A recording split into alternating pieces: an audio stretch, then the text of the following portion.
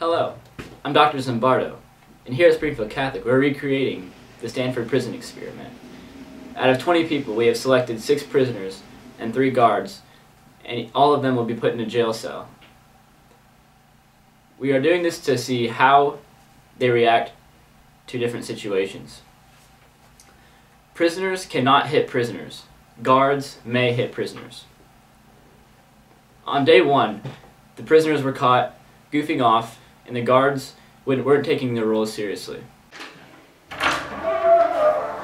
Oh, hey, if anybody needs anything, uh, just ask from the guards.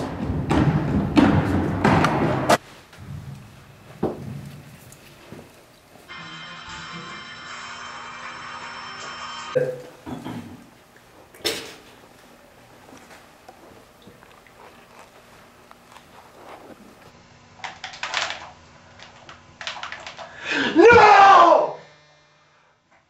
Fuck!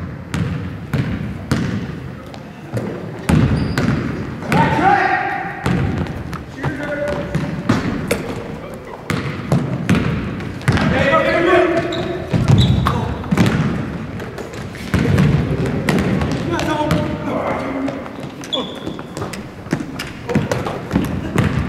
you a prisoner?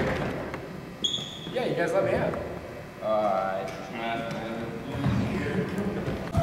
Let's go, prisoner.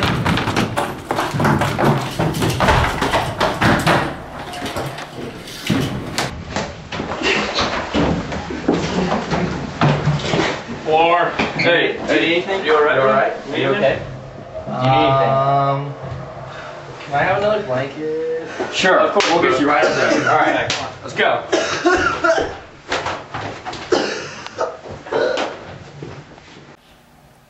On day two, the guards became hostile, and the majority of the prisoners became obedient.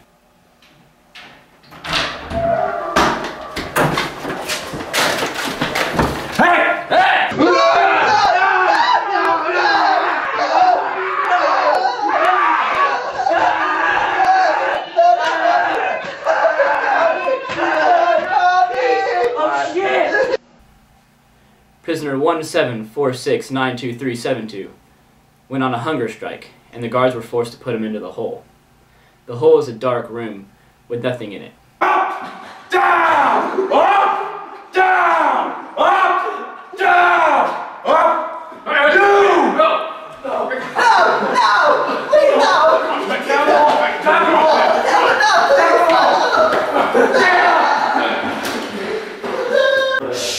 You gonna eat your sausages, boy? I'll never eat your sausages! Then you're gonna stay in the hole! Because Connor won't be obedient, I'm gonna make you sorry Sally's pay.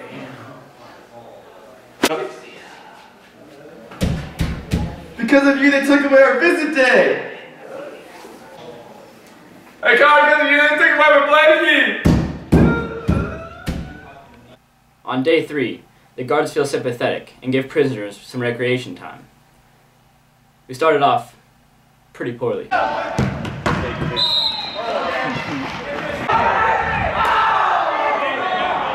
I can't believe we're losing. This is pathetic. Lost gender contact, either direction is not encouraged. Towards the end of the game, one.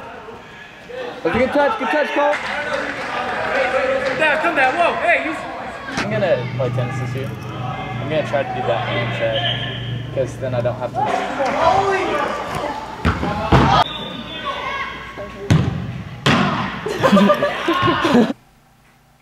The prisoners began to feel power, and they began to rebel once again. Prisoner 6 would refuse to wear clothes in the form of rebellion, and the guards were forced to throw him into the hole once again. Rob, Rob, wake up, Rob. What, what, what? Wake up, come on, wake up. Let's go. No, I'm not going anywhere. It's time. I'm not going anywhere. No, no, no, no, no, no. You're gonna go back in the hole, Rob. You're gonna go back in the hole. You're gonna go back in the hole. No, no, You're gonna go back in the hole. Let's go. Let's go. Go back in the hole. Gave you a chance. Up! Down! Up! Piece of... On day 5, prisoner James was seen convulsing and crying in his prison cell. It forced me to go in and talk to him and release him from the experiment.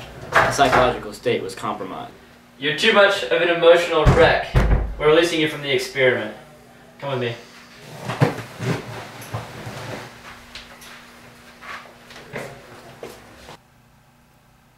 After I had released prisoner James, the prisoners were sent to the parole officer. What you need? Nah, my parole. Why? Why? I've been good. Why should I give you parole? I've obeyed everybody and I've done whatever all the guards have said. N- no, no, ah, no.